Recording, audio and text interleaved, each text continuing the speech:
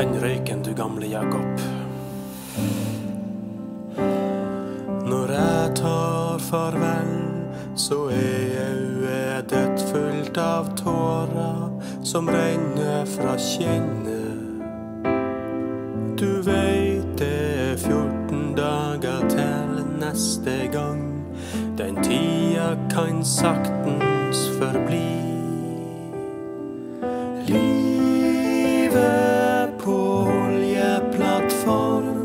Er skjettent og vanskelig. Livet på oljeplattform er et slit uten like. Så sitter du så stilt fremfor TV-en igjen. Du drømmer deg sakte bort til Jan Mayen. Og jeg tar fram gitaren og klunker litt på den.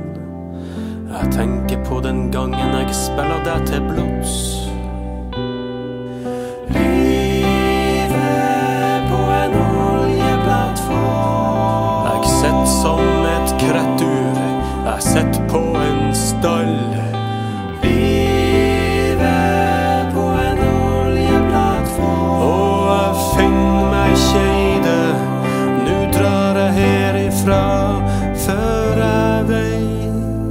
Så sant som jeg lever, så skal jeg komme tilbake. Jeg kommer med snøggebåten den dag i dag.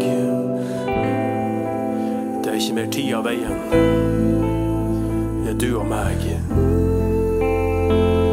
Jeg kjøper deg en bukett med roser.